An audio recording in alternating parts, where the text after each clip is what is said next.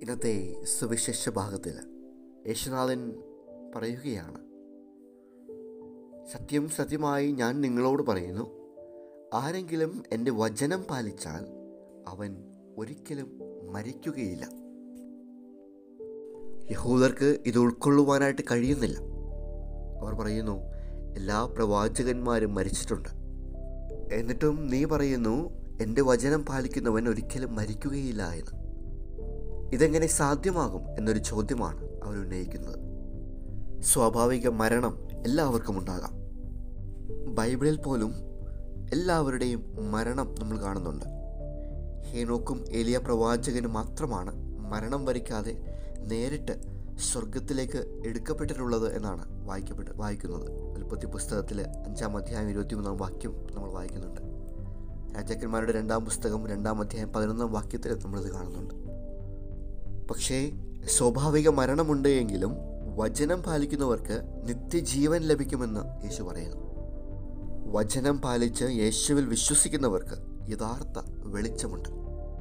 വചനം പാലിക്കുന്ന വിശ്വാസികൾ പുണ്യവന്മാരുടെ കൂട്ടായ്മയിലേക്ക് കടക്കപ്പെടുന്നു.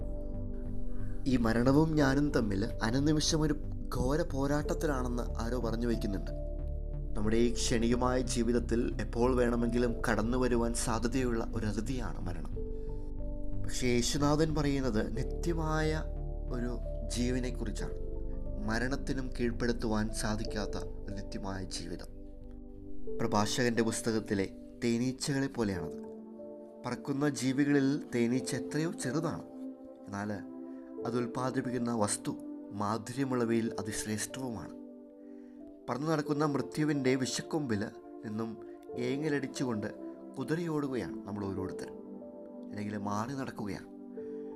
ഈ വിഷക്കൊമ്പിൽ നിന്നും ഏങ്ങലടിച്ച് കുതിരയോടുമ്പോൾ ഓർക്കുക അത് പുറപ്പെടുവിക്കുന്ന തേനൂറുന്ന ഒരു നിത്യതയുണ്ട്.